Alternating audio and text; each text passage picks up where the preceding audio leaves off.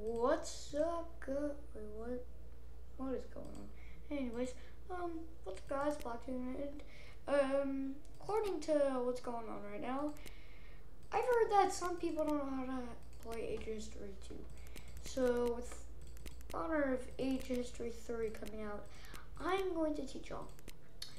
And also, we are so close to 1,200 subscribers. Sub today to become one of the one of the first legends. Anyways, so let's see sandbox mode. And we're playing as Germany, right? So we get infinite money. So this is basically how play, just recruit troops. And I'm on sandbox mode just so like uh, I don't have like crisis or whatever. So this is supposed to be like holding and stuff. Anyways, so early on these nations get are really weak because they don't have it because AI doesn't have enough time to you know like build up an army or anything. So this is probably the best time to strike on the AI.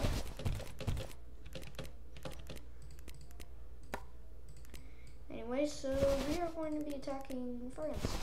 So basically just click on your province and with that has troops because it does if it doesn't have troops then you can't launch an attack.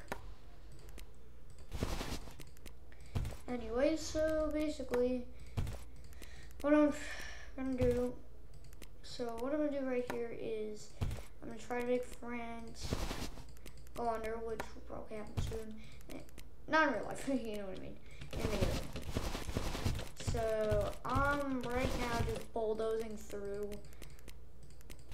the um the I'm bulldozing through the country. And it's gonna get hard once you get to like colonies.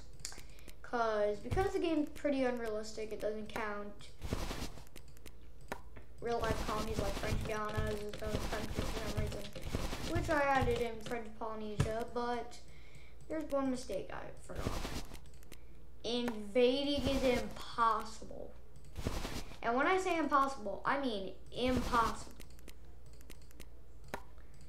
And that is why, and that is why, like, it's probably better for, like, to adapt to the game settings because then, like, it's so much easier.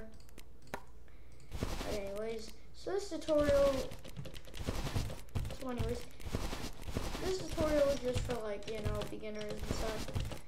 And if you aspire to be good at age of history like me, because I'm literally pro. Anyways, if you be a pro like me, you need to get good at this game. And when I mean good, I mean like actually like grind this game. If you're wondering how long it took me to, how many hours I have on this game, it might seem like a lot, but 300 hours on this game. Yeah.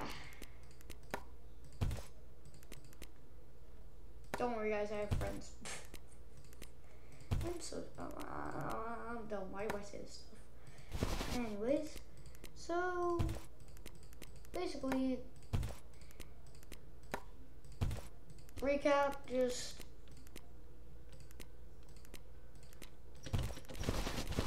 i have fun when you play this game. I also know that there's a two-player option, which I do not know how that would work. Like, eh, you only play from one computer. Also, by the way, if you like geography like me and you hate like Hoi 4 and stuff, and you like think it's too complicated or something, this game is actually really easy to master. Like, The reason that I got troops fast, if you're wondering, and it's not working for you, I kind of cheated. And when I say kind of cheated, I mean I put the population growth of like every city in Europe to like 100%. And that's only because, and let me just say, only because,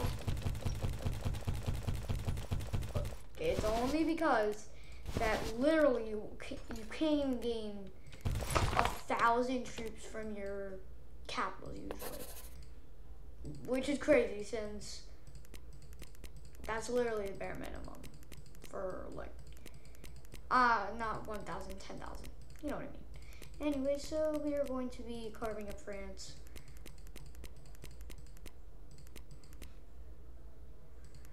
But usually, since you don't have like all the territories of France, because I forgot about French Polynesia. Wow. So because of French Polynesia, I have to like, you know, uh, I don't really have that much. So this these are the only provinces I got, which is not the entire country. If, I'm telling you, if you got the entire country under your control and it had like the white flag thing next to that, it would have like you would have had to like you know it, it's weird I know I'm not sure so yeah assimilate and when I say assimilate I mean like waste your last dollars in your treasury to assimilate because rebellions are going to be your worst nightmare and when I say worst nightmare I mean like you once you get to my level of like expertise and you assimilate you're gonna have like Russia I don't care. I'm friends. I got Russia under my control. Is what you're saying once you uh, go like to my level. Rebels start popping up like crazy once you get to like the hundreds of turns and like 200 and 400s. That's all I'm saying. That's my guys. But I'm just gonna invade a few more countries so that I can like show y'all how good this strategy is. So as you can see, I have about like too many. Anyways, so basically this is how you play the game. It's a very good game, one of the best Steam games, I would say. Even if you don't like geography, let me just say this. Even if you don't like geography, you have a lot of fun playing this game. Because it's not about like a trivia. It's more of like a sandbox, do whatever you want type of game. Like it's not like a Minecraft type of game. You know what I mean? It's more of like a. I cannot speak today. I am not. I do not know why.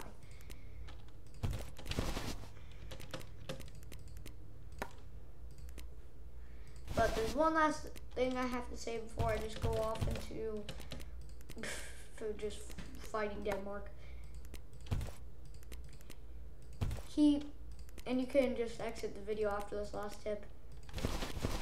Keep grinding, even if you're already like the best player in the game.